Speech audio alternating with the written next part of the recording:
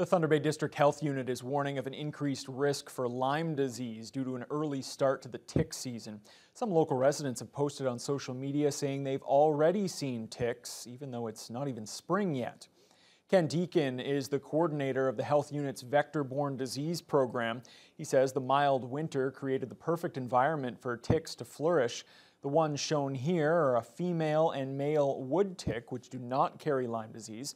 Deacon also explains the difference between a wood tick on the left and the black-legged tick on the right that does transmit Lyme disease.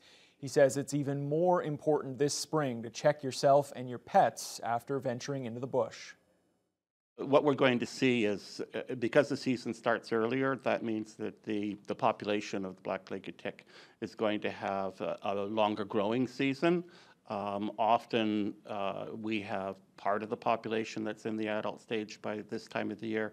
I think we're going to see uh, the other, the, the second stage of the tick uh, being able to mature into adulthood as well. There are three stages in the tick's life, and the second stage is the one that's smaller, harder to find, and uh, is known to be the major transmitter of Lyme disease.